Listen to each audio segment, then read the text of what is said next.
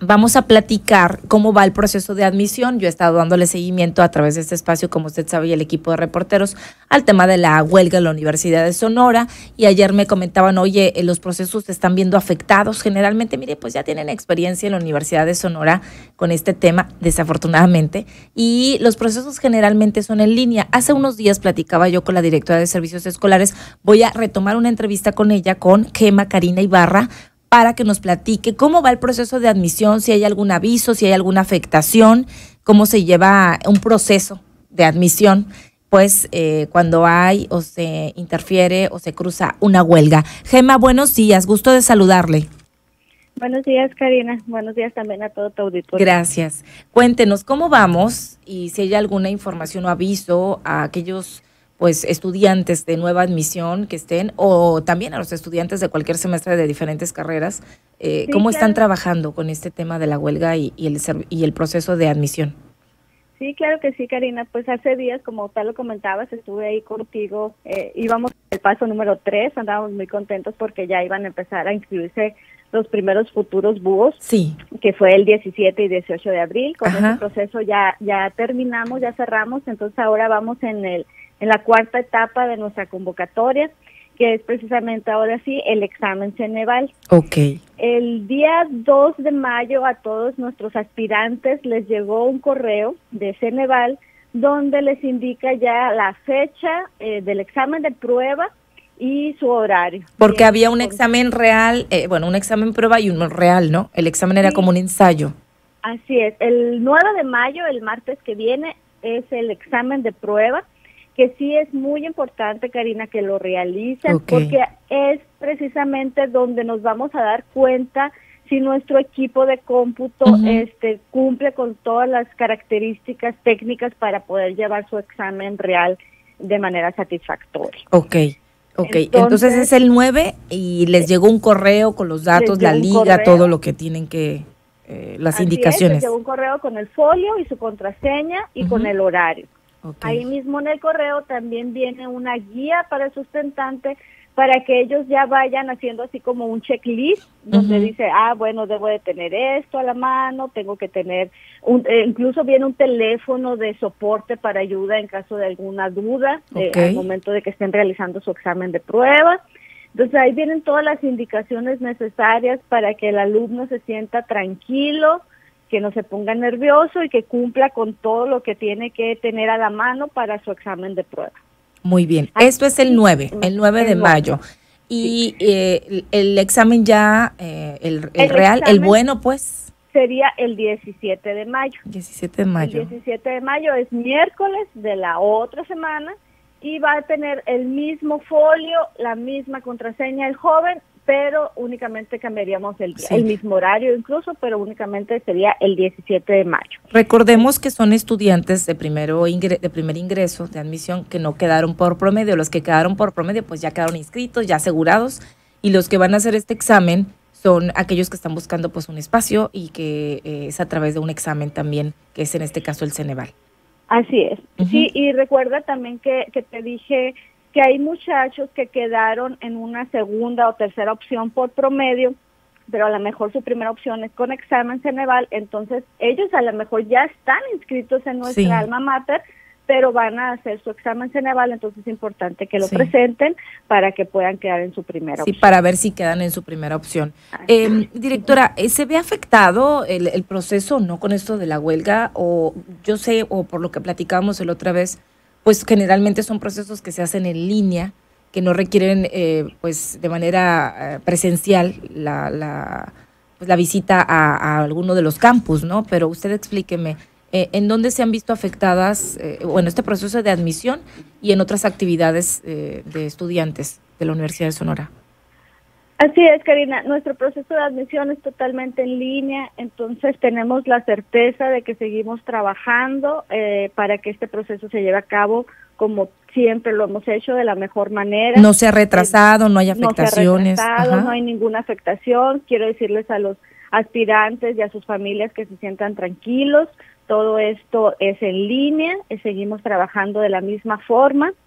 Vamos a seguir dando la atención como le hemos dado hasta el, hasta el momento. Hemos estado contestando sus dudas por correo electrónico. Entonces, eh, seguimos igual. Si te acuerdas, la vez pasada también eh, mencionaba el correo, el admisión arroba unison.mx, lo estamos contestando diariamente. Entonces no hay no hay ningún problema, no se sientan este, intranquilos, nosotros seguimos trabajando. Ok, repetimos el correo directora, admisión. Admisión arroba unison.mx. Unison.mx. Eh, ¿Cómo se trabaja cuando hay una huelga en otros procesos? Por ejemplo, ahorita, sé que en mayo, pues yo me acuerdo que concluí mis estudios en, mayo, en abril, mayo de, un año. Igual, eh, pues muchos están ahorita a lo mejor en un proceso eh, que sí se ve afectado con una huelga y cómo lo trabajan ustedes, porque pues ya hay experiencia, ¿no? En, la Universidad de Sonora en, este, en estos temas. Sí, Karina, mm, la universidad tiene personal muy responsable, muy eh, dedicado. Entonces todo el personal de la Dirección de Servicios Escolares está trabajando ahorita desde casa, dando dando esta esta atención a los estudiantes, sobre todo de primer ingreso, pero igual también a todos los que están inscritos actualmente se les sigue dando la misma atención, a los que necesitan constancias, CARDEX, cualquier duda que tengan en su proceso, en su trayectoria escolar, seguimos trabajando desde casa, pero con la misma atención. Sí, es decir, que si yo eh, requiero, por ejemplo, una constancia de estudios, aunque ahorita, ahorita estemos en huelga, ¿se puede tramitar? o algún estudiante que esté haciendo un intercambio, que se requiera ir a otro país, por ejemplo, no sé si estén detenidos ahorita estos trámites, eh, algunos estudiantes que ya tenían algún programa de estudios o, un viaje de estudios o algo que requieran ahí atención de servicios escolares se les brinda? Sí, mira, con la pandemia se automatizaron muchas cosas. La verdad, sí, ¿verdad? Antes era, se acaban las, me estaba acordando ahí con compañeros de la universidad, ahí iban con las computadoras, ahí salían con las computadoras y ahora pues es diferente, la tecnología ha venido a, a, a resolvernos y a complicarnos la vida en otras cosas, pero bueno. Sí, Sí, entonces en su portal de alumnos los estudiantes pueden ya eh, solicitar su CARDEX, constancia, cualquier eh, eh, trámite que ellos necesitan y se lo, o sea, ahí pagan en línea y se descarga automáticamente, ahí tienen su guardado su PDF.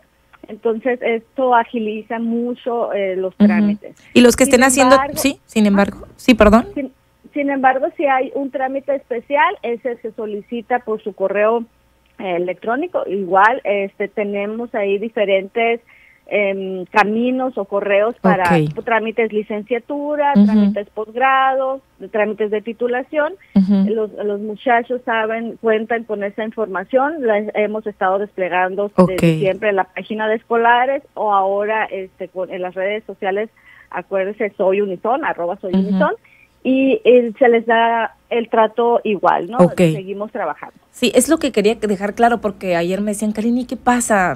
una, una persona me preguntaba, pues yo tengo entendido que todo normal con trámites y con el proceso de admisión, pero vamos a confirmarlo. Me gusta esta idea de que también la gente tenga claro que no porque se está en huelga no avanzan otros trámites. Por ejemplo, si estás en un proceso de titulación o si estás con una solicitud de constancia que ocupas para otro trámite fuera, qué sé yo, que tengamos conocimiento de que sí se da la atención, de que sí se puede solicitar y de que muchos de los trámites se hacen en línea y que no está afectando este, este tema de la huelga en estos procesos en particular. Las clases como tal en mayo, eh, digo, en actuales de este ciclo, este semestre, ¿cuándo terminan oficialmente en el calendario, directora? El calendario se terminaba en las ordenadas el 19 de mayo. 19. O sea, hay algunos que estén están concluyendo pues a distancia seguramente, entregando sus pendientes a, en línea. Eso tampoco para, ¿no? Ya es en coordinación con académicos o con el área correspondiente. Así es, sí, sí, sí, eso directamente con su maestro, ¿no? ¿Y, y ¿Cuándo empiezan los de verano? Eh, que, están ahí también a la expectativa que va a pasar los cursos de verano. Sí, eh, de hecho se está trabajando también, eso le pertenece a la unidad, eh, a la dirección administrativa de la unidad, bueno, de las unidades mm, distintas, centro o, las unidades foráneas. Eh, se está trabajando también, precisamente ayer nos mandaban ya la imagen de, de los cursos de verano eh, y pues ahorita todo sigue igual, ¿no? Estamos trabajando con las mismas fechas, o sea, no hay ningún aviso, no hay ningún retraso, no hay nada que lamentar.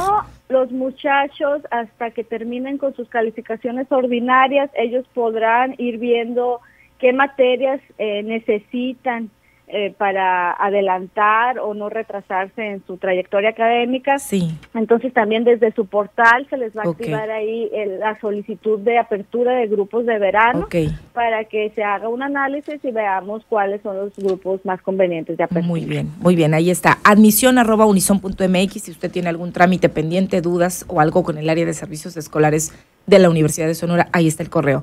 Directora, ¿algo más que quiera agregar? Pues solamente recordarles que, que hagan su examen de prueba, que no crean que ah bueno no es el real, este no no no lo voy a lo voy a dejar pasar. Es muy importante que se hagan su examen de prueba porque ahí es donde van a verificar realmente si su equipo de cómputo cumple con todas las especificaciones. ¿Cuántos estudiantes? ¿Cuántos estudiantes son los que van a hacer el examen? Pues traemos alrededor de 11 mil estudiantes cada En el estado, bueno, en, en, las diferentes sí, porque Ya, ya se nos inscribieron algunos. Ya ah, mire. Sí. Bueno, pues muchísimas gracias, Gema. Estaremos atentas, atentos. Cualquier cosa estamos a la orden, como sabe. Igualmente, gracias. también estamos a la hora. Muchísimas gracias. Un abrazo a Gema Karina Ibarra eh, Torúa, es directora de Servicios Escolares de la Universidad de Sonora. Me estoy riendo porque dice por acá Jesús Ruiz, ah, pues nos vamos a tener que poner guapos, vamos a regalar un metro de arena y un metro de grava, dice por acá, en materiales Ruiz Rancho Grande. Bienvenido. Claro que sí, lo regalamos para el 10 de mayo con muchísimo gusto.